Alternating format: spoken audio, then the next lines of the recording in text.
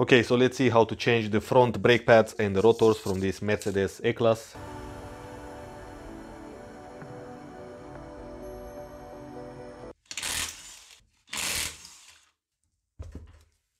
Next, let's turn the steering wheel all the way to the left so we can get access to the caliper.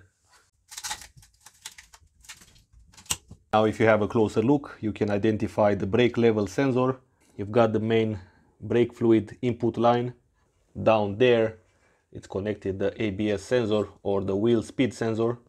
If you have a closer look on the caliper, you can see these two rubber bushings which protects the bolt which you have to remove in order to take out only the caliper and not the bracket. You need a T45 which can fit perfectly in here to open these bolts. It's a good idea to apply some pressure towards that direction so the bolt won't round up.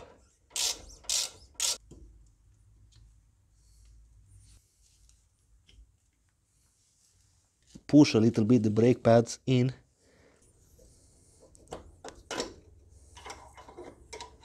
Okay.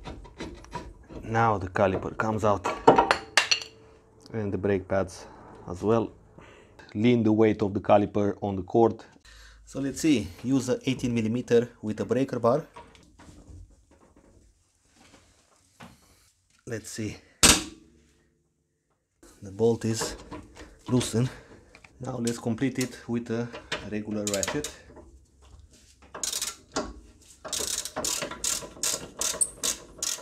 And here it comes. With the T5 let's remove this bolt which holds the rotor on the wheel hub and luckily the rotor comes out easy.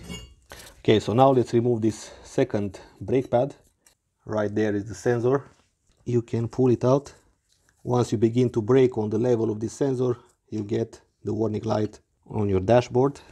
And here are the brake pads which are not bad. Now before installing the new rotor on make sure that you clean very well this hub especially if the previous rotor was stuck just give it a nice clean and put some lubrication here like copper paste or something like that. Make sure that you find a hole for that small 5 millimeter hex.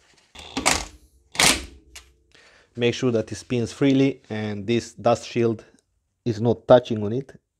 One of the mistakes some people do is to put copper paste on the back of the brake pads because you do not need any lubrication between the piston and the brake pad since there is no much friction this thing is just being pushed in. Now let's torque these bolts to 70 foot-pounds you need to press this piston in in order to fit the new brake pads. The best is to have the special tool but if you use one of these adjustable pliers like that you can still press on that piston.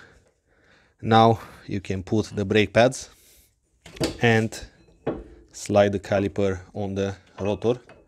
Get these special bolts with the T45 and tighten them in. Let's see the second one. Now let's put this safety wire on as well. And the brakes are ready to go. Okay guys, that was pretty much it. Thanks for watching. Go ahead and check out the other videos I made about this car if you have this Mercedes E-Class with a diesel engine. I've got a lot more interesting videos about that.